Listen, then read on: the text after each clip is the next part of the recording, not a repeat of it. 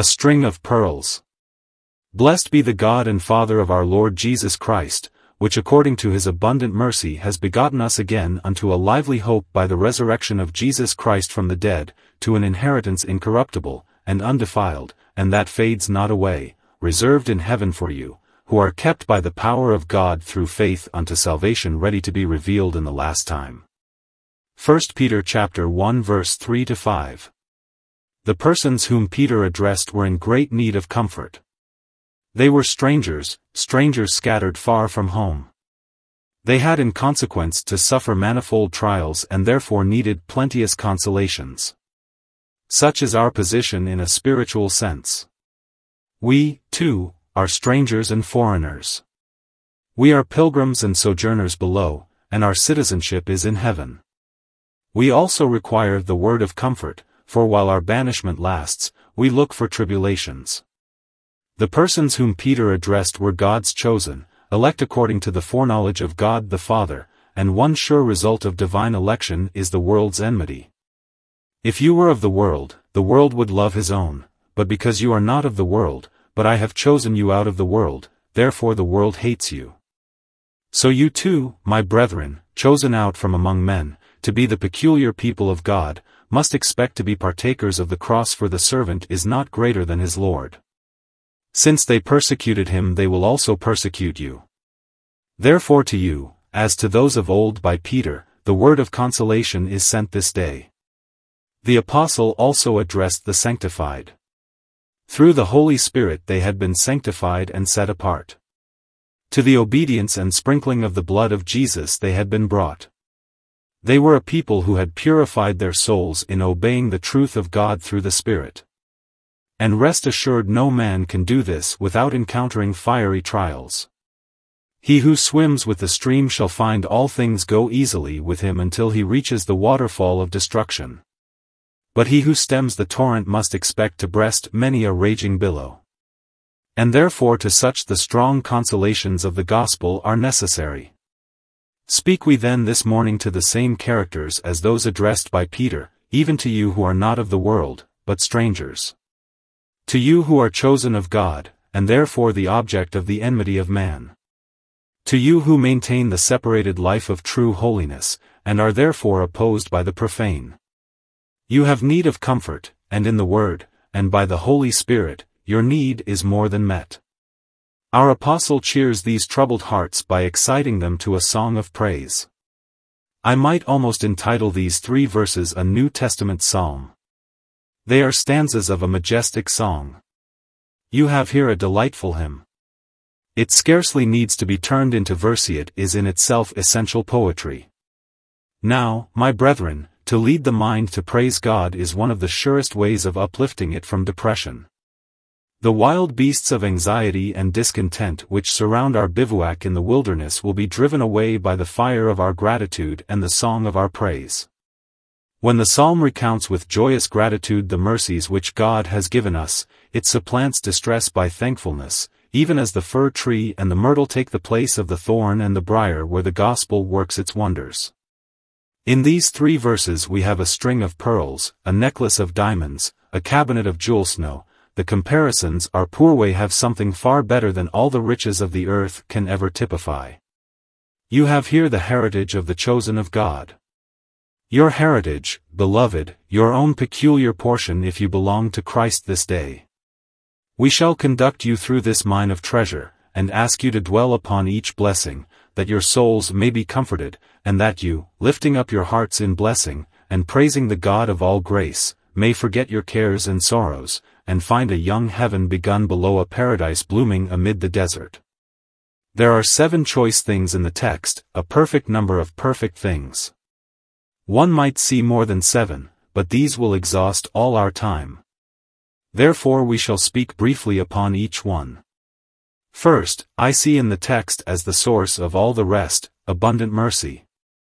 Blessed be the God and Father of our Lord Jesus Christ, who according to his abundant mercy has begotten us again unto a lively hope. No other attribute could have helped us had mercy refused. As we are by nature justice condemns us, Holiness frowns upon us, power crushes us, truth confirms the threat of the law, and wrath fulfills it. It is from the mercy of our God that all our hopes begin. Mercy is needed for the miserable, and yet more for the sinful. Misery and sin are fully united in the human race, and mercy, here, performs her noble deeds.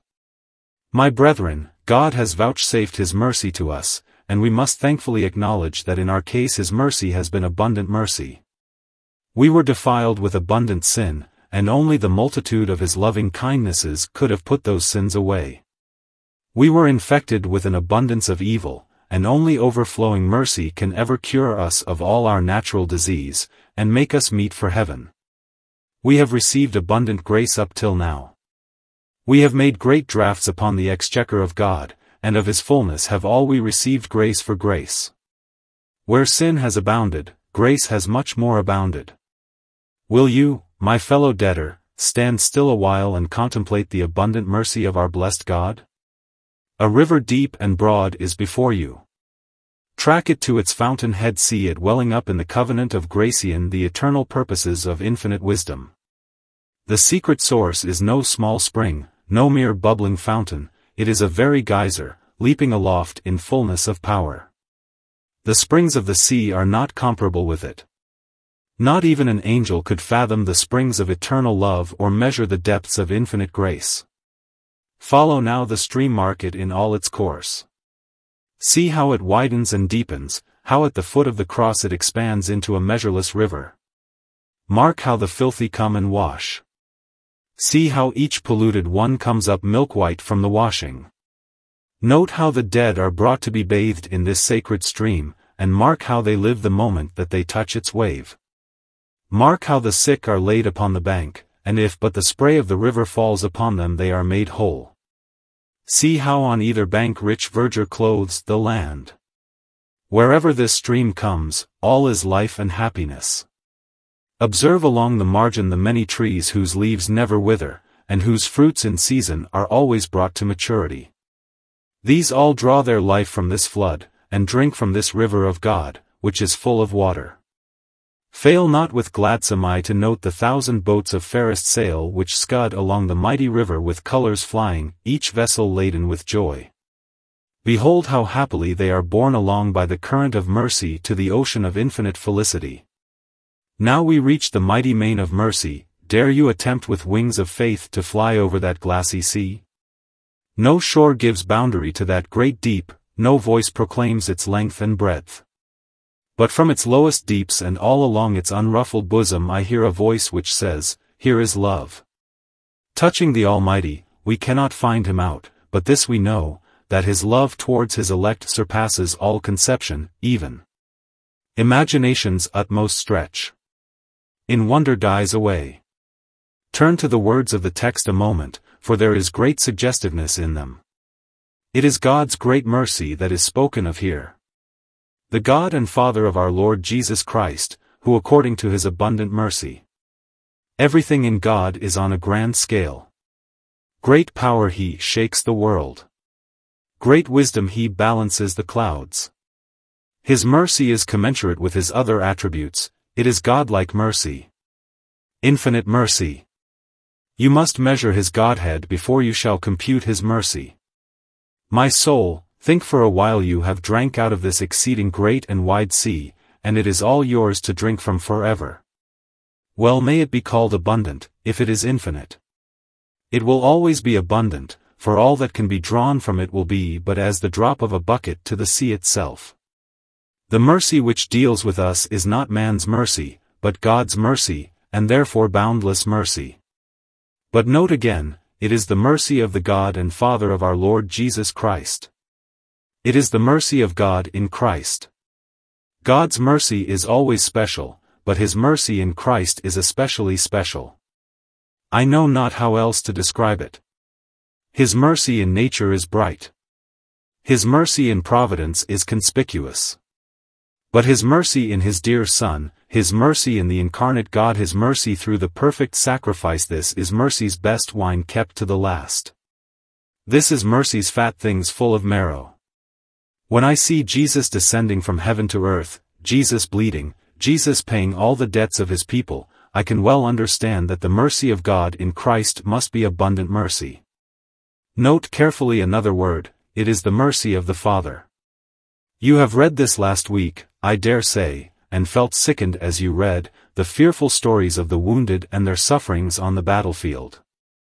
You have read also descriptions of how the wounded, when they are brought into the many German towns are met by their compatriots, who rejoice in their victories, but at the same time lament for the valiant men who are maimed for life. You stand on the platform of the railway station, a stranger, and you see a fine young man with an arm shot away, looking sickly and pale from pain and hardships, and you pity him.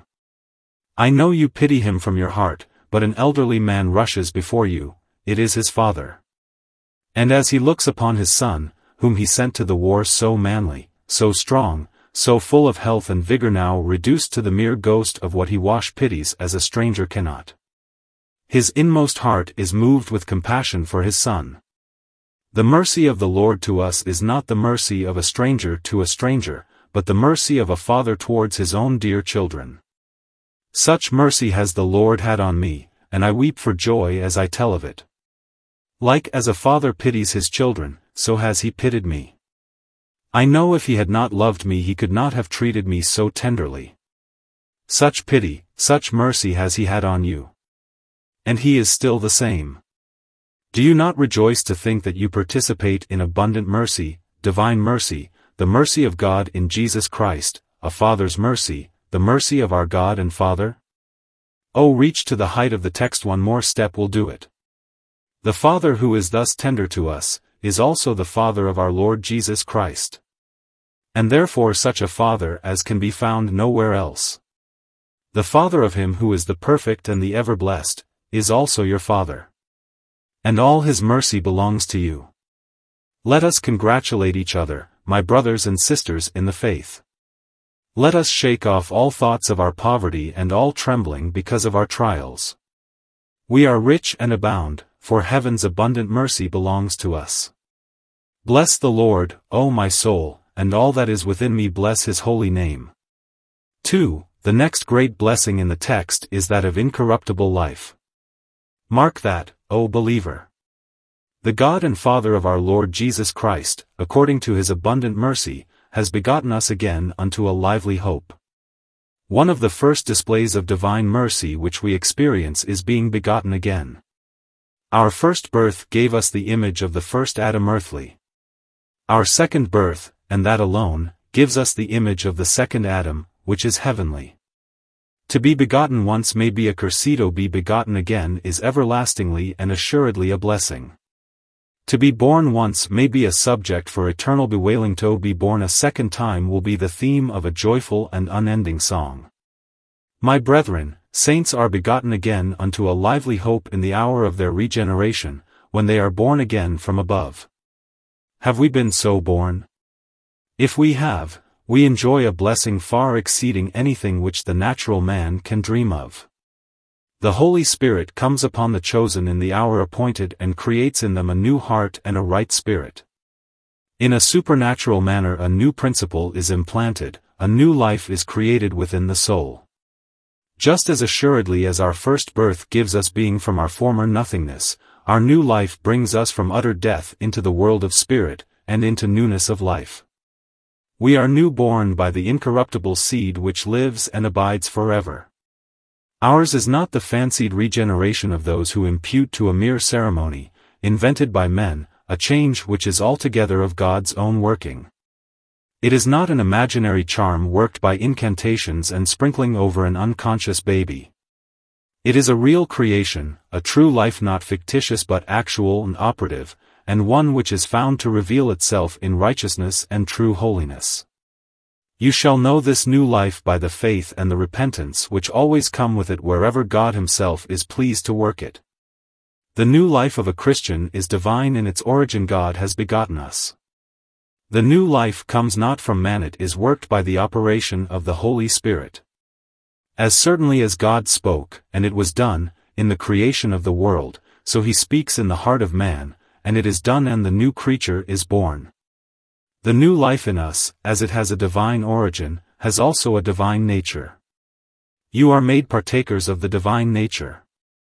The life of a Christian is the life of God God dwells in him.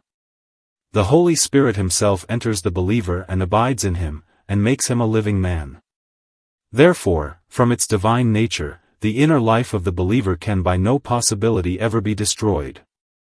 You must first destroy the Godhead before you can quench the spark of the eternal flame that burns within the believer's bosom. Has not the Apostle told us it is a living and incorruptible seed which lives and abides forever? What a great mystery is this, but at the same time what a blessing.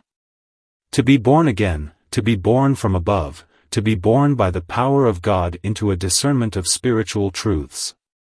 To hear spiritual voices, to see spiritual sights, and to be worshippers in spirit and in truth of God, who is a spirit. God grant that if we have never known this we yet may be created anew in Christ Jesus. Observe, dear brethren, to be begotten again is a very marvelous thing.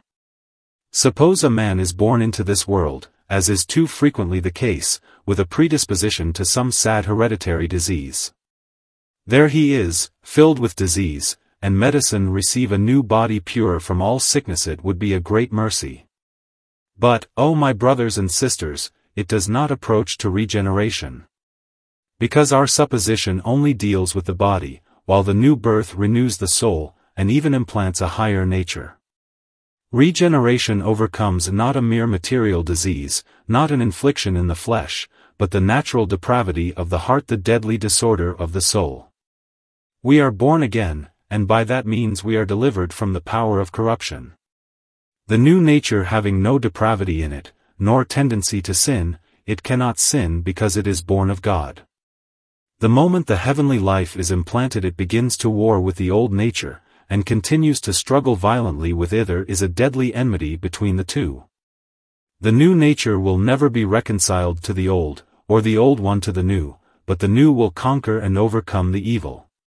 You have smiled at the pleasant fiction of old men being ground young again in a mill but that marvel would be nothing compared with this the old man made young would still be the same man and placed in the same circumstances, he would develop into the same character. But here is the old man crucified and a new man created in the divine image. Who can estimate the privilege of receiving a heaven-born nature, which, however weak and feeble it may be at the first, is ever living, and by the power of God will gain the ultimate victory? Let us then rejoice and be glad. We may be very poor today, but we are born from above. We may be much afflicted, but what of that if we are the twice-born sons of heaven? We may be despised and rejected, but the heavenly light has shone upon our eyes. We have been regenerated, we have passed from death unto life. Here is ceaseless cause for gratitude and joy, and if we rightly consider it, we may forget our griefs.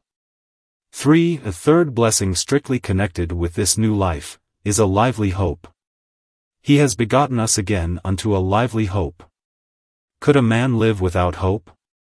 Men manage to survive the worst condition of distress when they are encouraged by a hope. But is not suicide the natural result of the death of hope? Yes, we must have a hope, and the Christian is not left without one. He has a lively hope, that is to say, first, he has a hope within him, real, true, and operative. Some men's hopes of heaven are not living hopes, for they never stir them to action. They live as if they were going to hell, and yet they coolly talk about hoping that all will be well with them at last. A Christian's hope purifies him, excites him to diligence, makes him seek after that which he expects to obtain. A student at the university hoping to gain a prize uses his best endeavors, burns the midnight oil, strains all his faculties that he may reach the mark which will ensure his passing the exams. Even thus the Christian with a lively hope devotes himself to obtaining the blessings which God has promised in his word. The Lord has begotten us to a lively hope, that is to say, to a vigorous, active, operating hope. It is a lively hope in another sense, namely, that it cheers and enlivens. The swimmer who is ready to sink, if he sees a boat nearing him, plucks up courage and swims with all his strength because now he expects that his swimming will be of effectual service to him. The Christian amid the waves and billows of adversity retains his hope, a glorious hope of future bliss, and therefore he strikes out like a man towards the heavenly shore. Our hope buoys up the soul, keeps the head above water, inspires confidence and sustains courage. It is also called a living hope, because it is imperishable. Other hopes fade like withering flowers. The hopes of the rich, the boasts of the proud all these will die out as a candle when it flickers in the socket. The hope of the greatest monarch has been crushed before our eyes. He set up the standard of victory too soon, and has seen it trailed in the mire. There is no unwaning hope beneath the changeful moon the only imperishable hope is that which climbs above the stars, and fixes itself upon the throne of God and the person of Jesus Christ. The hope which God has given to his truly quickened people is a lively hope, however, because it deals with life. Brethren, it may be Christ will come while yet we live, and then we shall not die but shall be fitted for heaven by a change. However, it is probable that we may have to depart out of this world unto the Father by the usual course of nature. And in expecting to do so let us not look at death as a gloomy matter, as though it could at all jeopardize our welfare or ultimately injure us. No, my brethren, we have a living hope, a lively hope. Charles Borromeo, the famous Bishop of Milan, ordered a painter who was about to draw a skeleton with a scythe over a sepulchre, to substitute for it the golden key of paradise. Truly this is a most fitting emblem for a believer's tomb for what is death but the key of heaven to the Christian. We notice frequently over cemetery gates, as an emblematic device, a torch turned over ready to be quenched. Ah, my brethren, it is not so, the torch of our life burns the better, and blazes the brighter for the change of death. The breaking of the pitcher which now surrounds the lamp and conceals the glory, will permit our inner life to rebreaking is but preparatory to its future refashioning. It is a blessed thought that the part of us which must most sadly feel the mortal stroke is secured beyond all fear from permanent destruction. We know that this very body, though it moulders into dust, shall live again. These weeping eyes shall have all tears wiped from them. These hands which grasp today the sword of a conflict shall wave the palm branch of triumph. My brethren, it were not just that one body should fight and another body should be crowned that one body should labor and another body have the reward. The same identical body shall rise from the dead at the Lord's coming, marvelously changed, strangely developed as the seed develops into the full-blown flower but still the Samian very deed the same. This very body shall be resplendent with glory, even the same which now bears sickness and pain. This is our lively hope that death has no dominion over any part of our manhood. There is for a while a separation between the soul and the body it is but for a while. There is for the flesh a temporary slumbering in the tomb, it is but a slumber, and the waking shall be in the likeness of Christ. As for the soul, it shall be forever with the Lord, waiting for the latter day and the coming of Christ, when the body itself shall be raised from corruption into the likeness of the glory of him who is the first begotten from the dead. Thus, I have brought you up from the abundant mercy to the new life, and onward, to the lively hope. For, we cannot tarry, but must notice, in the fourth place, another delightful possession which ought effectually to chase away from all of us the glooms of this life, and that is a risen Saviour. He has begotten us again unto a lively hope by the resurrection of Jesus Christ from the dead. Our best friend is not dead. Our great patron and helper, our omnipotent Savior, is not lying in the tomb today. He lives, he ever lives. No sound of greater gladness can be heard in the Christian church than this the Lord is risen, the Lord is risen indeed. Now, brethren, observe the connection between a risen Savior and our living hope. Jesus Christ died, not in appearance, but in reality. In proof whereof, his heart was pierced by the soldier's spear. He was laid in the tomb of Joseph of Arimathea, truly a corpse. Not a spark of life remained. The only difference between his dead body and the dead body of any other was that still the preserving power hovered over him, and as his body had been defiled by no sin, so his flesh could not see corruption as it would have done had it been the body of a sinful man. Then, at the end of the appointed time, the same Saviour who was laid in the tomb rose from the dead not in secrecy but before the Roman guards who watched the sepulchre. They fled in terror. He met his disciples sometimes one by one, sometimes two at a time. On other occasions, 400 at once saw him credible witnesses persons who had no reason for forging a falsehood. Persons who so believed that they saw him that many of them died, for their belief, the most painful deaths. He rose, not in fantasy and figure, but in reality. One of the witnesses put his finger into the print of the nails, and thrust his hand into his side. And in the presence of his assembled disciples, the risen one ate a piece of a broiled fish and of a honeycomb. He really and literally rose from the dead the selfsame Christ who was born of the Virgin Mary, who suffered under Pontius Pilate and afterwards ascended into heaven. That fact is as well proved as any fact in human history. There never, perhaps, was any incident of human history more fully verified than the rising of Jesus of Nazareth from the tomb. Now, note you well the comfort which arises out of this fact, since it proves that we possess a living advocate, mediator and high priest who has passed into the heavens. Moreover, since all believers, being partakers of the incorruptible life of God are one with Jesus Christ, that which happens to him virtually happens to them. They died in his death, they live in his life, they reign in his glory. As in Adam all die who were in Adam, so in Christ shall all be made alive who are in Christ the two Adams head up their dispensation whatever happens to either of the Adams, happens to those represented by him. So, then, the resurrection of Jesus is virtually my resurrection. Were he dead still, then might I fear, no, I would know, that I, dying, should die. But he, having died, arose again in due season and lives. Therefore I, dying, shall also rise and live, for as Jesus is, so must I be. If I have within me the new life, I have the same life in me that is in Christ, and the same thing happens to me as happens to Christ. If his life dies, mine, being the same, dies also. But, as he has said, because I live, you shall live also, my life is secure. Here, then, is the top and bottom of the Christian's hope we are begotten again into a lively hope by the resurrection of Jesus Christ from the dead. As we see him alive, we rejoice that he lives, because he lives for us, and we live in him. Let me give you an illustration. When Joseph was in Egypt, he was highly exalted and placed upon the throne. Now, while his brothers did not know him they were grievously afraid to go down into Egypt they thought him to be an Egyptian, a haughty ruler of the land and that he treated them roughly. But when once they and their father were persuaded that Joseph, their brother, was alive and on the throne, then they cheerfully joined with the old man when he said, Joseph my son is yet alive. I will go and see him before I die. Now, into the unknown land our elder brother has gone where is he and what? Why, he is king of the country.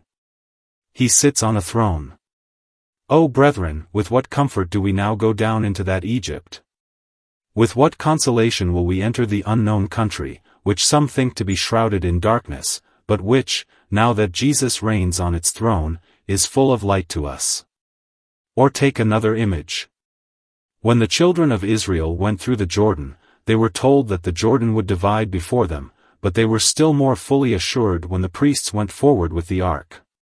For as soon as the feet of the priests touched the edge of the river, the waters began to divide.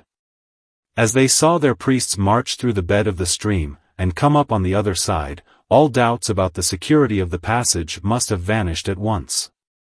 The priests were the representatives of the people before God, and where they passed safely all Israel might go. See you, then, my brethren, the great high priest of our profession has led the van. The ark of the eternal covenant has gone before, death is dried up, so that we can say, O death, where is your sting? O grave, where is your victory? And you and I may, with perfect confidence, full of a lively hope, march onwards into the glory land, for Jesus Christ has safely passed the flood, and even so shall we. Here, then, is reason for joy. We will not fear the present, we will not dread the future. For Christ is risen, indeed, and our lively hope is fixed on him. Thus we have set before you four out of the seven precious things. The fifth is exceedingly rich, but we can only give a word where many sermons would not exhaust an incorruptible inheritance inheritance incorruptible, and undefiled, and that fades not away. God has been pleased in his abundant mercy to prepare for his people an inheritance. He has made them sons, and if children, then heirs.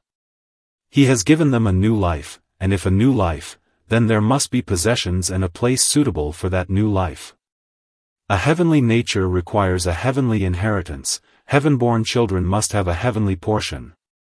Now I shall only ask you to notice that the inheritance which God has prepared for us has a fourfold description appended to it. First, as to its substance it is incorruptible. The substance of everything earthly by degrees passes away. Even solid granite will rot and crumble. The substance of things seen, I may say in paradox, is devoid of substance. Empires have grown great, but the inward corruption within their constitution has at length dissolved them.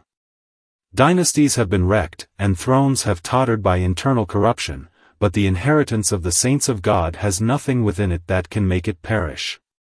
Forever and forever shall the blissful portion of the sanctified be theirs. Heaven, and the streets thereof, are all said to be of precious stones and pure gold, because they are imperishable. Next, for purity it is undefiled. Earthly inheritances are often defiled in the getting. Some men have grown rich by fraud, by violence, by oppression of the poor. How many a heritage is polluted all over with the slime of the serpent?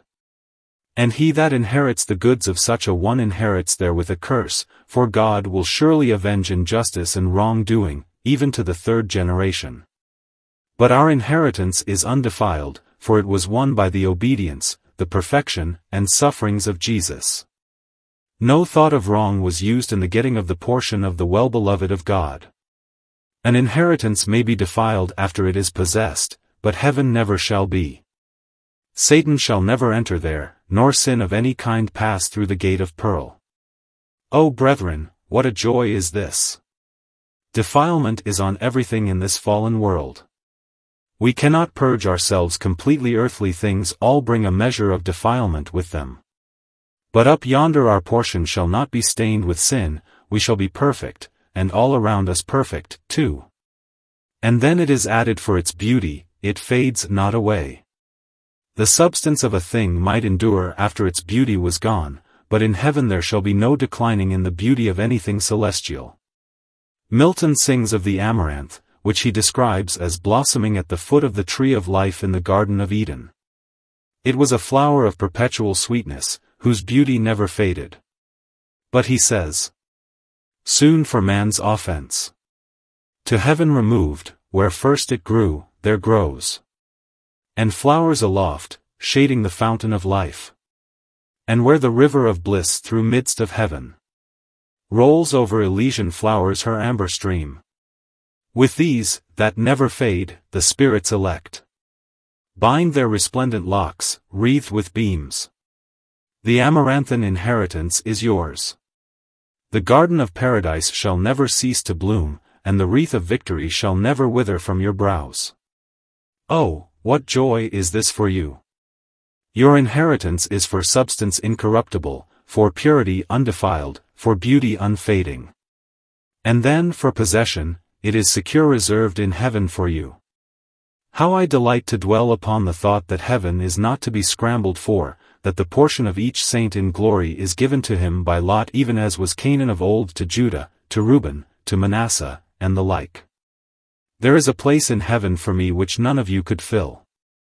There is a harp which no fingers can strike but mine, and a crown which no brow can wear but this. And so with each of you you shall have your own, your own appointed inheritance. He has begotten each one of you again you are as truly begotten as any other believer.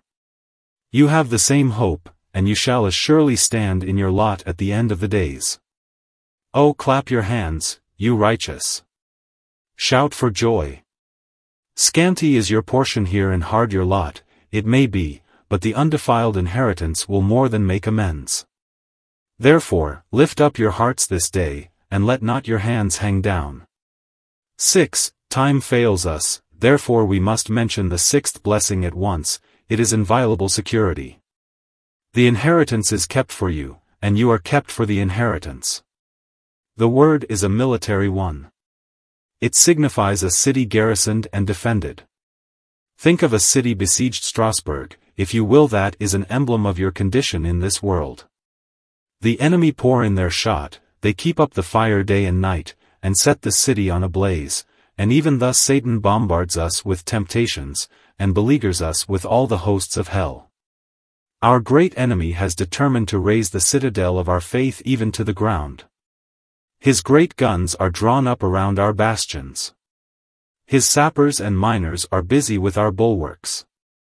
Even now it may be his shells are tearing our hearts, and his shot is setting our nature in a blaze. Herein is our confidence our great captain has walled us around he has appointed salvation for walls and bulwarks. We are safe, though all the devils of hell surround us, for we are garrisoned by omnipotence. Each believer is kept by that same power which bears the earth's huge pillars up, and sustains the arches of heaven. Jerusalem, you are besieged, but you may laugh your enemy to scorn, he shall never break through your ramparts. Munitions of stupendous rock. Our dwelling place shall be.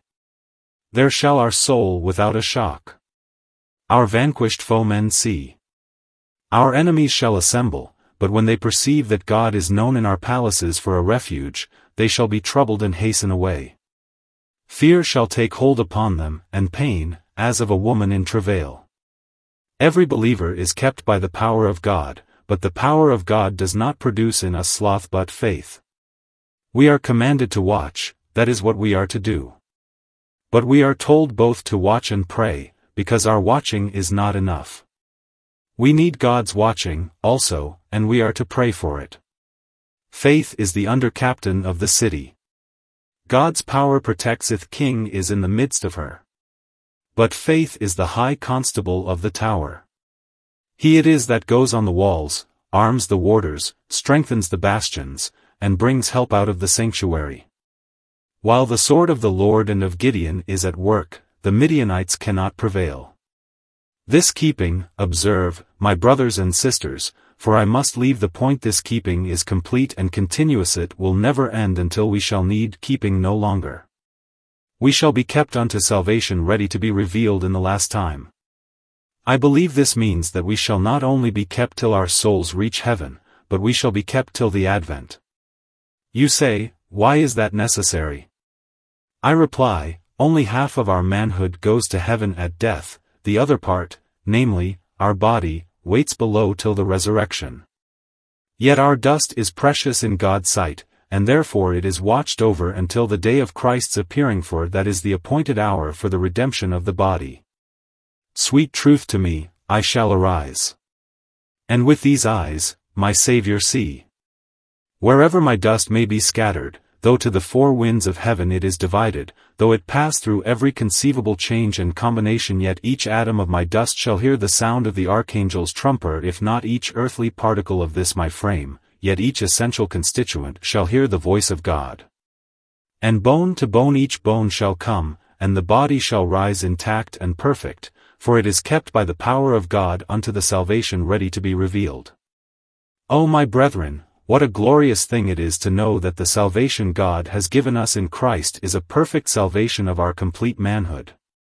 There shall not a hair of your head perish. You shall go into the furnace, you shall walk amid the glowing coals of death, but you shall come forth with not a smell of fire passed upon you. At the Lord's appearing you shall be none the worse for the fall of Adam. You shall be none the worse for your own transgressions. You shall be none the worse for all the scars of battle. You shall be none the worse for dying you shall be in heaven as bright as God himself could have made you if you had never fallen, and never sinned. Do I exaggerate? No, verily, for it is written, we shall be like he, for we shall see him as he is. We shall wake up in his likeness. Oh, the glory of complete victory over Satan's arts, and Satan's strength he shall be defeated all along the line. He shall gain nothing by all his attacks upon our God, and upon us but we in the image of Jesus shall laugh at the complete defeat of evil, and glorify God and the Lamb forever. 7. the best I have reserved for the last. Out of the seven treasures of the Christian the last comprehends all, is better than all, though what I have already spoken is every thing it is a blessed God. We left this to the last, though it comes first blessed be the God and Father of our Lord Jesus Christ. It is joy to have heaven, it is joy to possess a new life to fit me for heaven but the greatest of all is to have my God, my own Saviour's God, my Father, my own Saviour's Father, to be all my own. God himself has said, I will be their God, and they shall be my people. He has not given you earth and heaven only, though that were much. He has given you the heaven of heaven himself. Herod spoke of giving the half of his kingdom. But the Lord has not given you the half of his kingdom, nor even the whole of his kingdom only but his own self the blessed God has in covenant made over to you. Will not this make you rejoice? Methinks you may go forth with those that make merry and rejoice before God with a joy that knows no bounds sing unto God, sing praise, sing, unto God, sing praises. Rejoice in the Lord always, and again I say, rejoice. Brethren, the practical point is, show your gratitude and your joy by blessing God. You can bless Him with your voices. Sing more than you do. Singing is heaven's work, practice it here. At your work, do if you can, quietly raise a hymn and bless the Lord. But oh, keep the fire on the altar of your hearts always burning. Praise Him, bless Him. His mercy endures forever, so let your praises endure. Bless Him also with your substance. He is a blessed God. Do not give Him mere words they are but air and tongues but clay. Give Him the best you have. In the old superstitious times the churches used to be adorned with the rarest pearls and jewels, with treasures of gold and silver for men then gave minds of wealth to what they believed to be the service of God. Shall the true faith have less operative power upon us? Shall the lively hope make us do less for God than the mere dead hope of the followers of Rome? No, let us be generous at all times, and count it our joy to sacrifice unto our God. Let us give him our efforts, our time, our talents. Bless the Lord this afternoon, you Sunday school teachers. Teach those dear children under a sense of your own obligations to God. You who go from house to house this afternoon, you who will preach in the streets and lift up your voices in the corners of the thoroughfares preach as those who are begotten unto a lively hope by the abundant mercy of God. Preacher, live more intensely and ardently than ever you have done. Deacons, serve the church more thoroughly than you have done as yet. Elders, give your whole souls to the care of Christ's flock, which he has redeemed with his blood. Each one of you workers for Jesus Christ work not for him after an ordinary sort, as men do for a master whose pay is no larger than he can be compelled to make it but work with heart, and soul, and strength for him who loved you to the death and poured out his soul to redeem you from going down into hell. Thus prove that the divine nature is truly in you, and that you possess the lively hope implanted by the resurrection of Jesus Christ from the dead. The Lord bless you all, for Christ's sake. Amen.